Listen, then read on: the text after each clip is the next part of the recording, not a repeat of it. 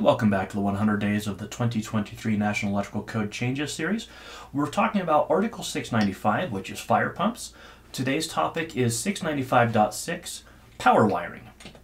All right, the change here is cable and raceway fittings now have to be listed for wet locations. Now, I think a lot of people are already doing this, but it was not a requirement. So 695.6 D1 wiring methods says that the wiring between the controller and the pump has to be in rigid metal conduit, intermediate metal conduit, EMT, or it can be in liquidtight flexible metal conduit or liquidtight flexible non-metallic conduit, mineral insulated cable, or MC cable that has an impervious coating. Uh, now, if you'll notice, all of those wiring methods are suitable for a wet location. The fire pump room is not, by definition, a wet location. Remember, a wet location is water saturation, okay? Is there going to be water in the fire pump room? Sure.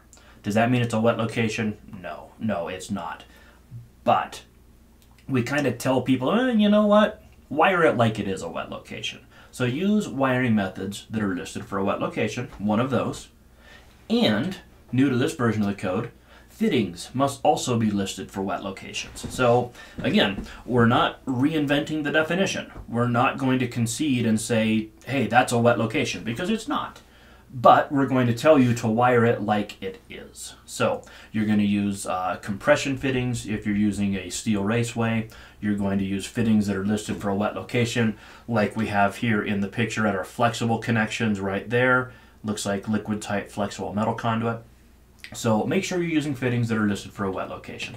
Uh, the other thing in this section, which didn't change but I think is worth talking about, and that's connections at motor terminations. They have to be made with listed means and may not use twist-on wire connectors, insulation piercing connectors, or solder. So you can't just use your standard twist-on wire connectors. You've got to use some sort of, pres of, uh, of, of pressure connector or similar.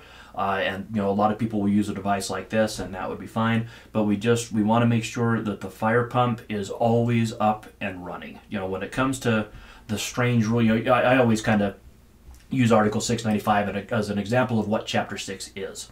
Chapters 1 through 4 that's your normal stuff. Chapter 5 that's your weird locations hospitals hazardous locations etc chapter 6 is your strange equipment.